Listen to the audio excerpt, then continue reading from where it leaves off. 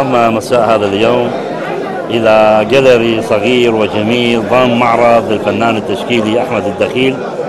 آه هذا الفنان الذي عبر من خلال هذا المعرض عن تجربته طيلة فترة ومسيرة حياته الفنية. بدءا من اللوحة من اللوحات الأولى التي عمل على الاشتغال بها ومرورا بتجارب متعددة ومحطات مختلفة من حياته الفنية مرورا باللوحة الأخيرة التي عبرت عن ملحمة أو نكبة العبارة. حقيقة حضر هذا المساء وفي هذا المكان جمهور غفير من المعنيين والمختصين من الفنانين الموصليين من التشكيليين وغير التشكيليين ابتهاجا بافتتاح هذا المعرض. ونتمنى أن تكون هذه المعارض دوم واستمرار لتغني الحياة الطبيعية لهذه المدينة التي خرجت من نكبة شديدة الوقع على نفوس أبنائها.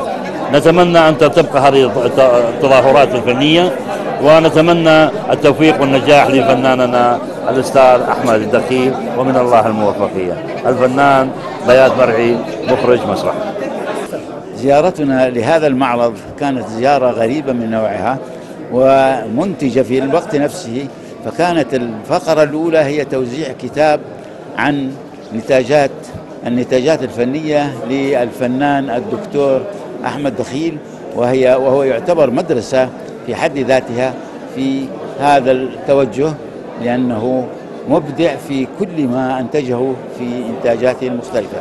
وقد أيد ذلك ما شاهدناه في المعرض من لوحات وكانت في غاية الروعة وهي تمثل ليست مدرسة واحدة من مدارس الفنون المعروفة وإنما مجموعة مدارس استطاع الفنان بمزجها وإخراجها بإخراج مميز فله ألف شكر وله التهنئة على هذا المعرض الفريد من نوعه.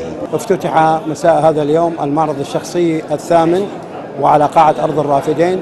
تضمن المعرض ما يقارب 27 لوحة تناولت موضوعات تراثية إضافة إلى موضوعات تهم الوقت الحاضر لمدينة الموصل وفاجعة العبارة التي فجع بها مدينة الموصل وكانت إهداء للشهداء الذين سقطوا على أرض هذه المدينة.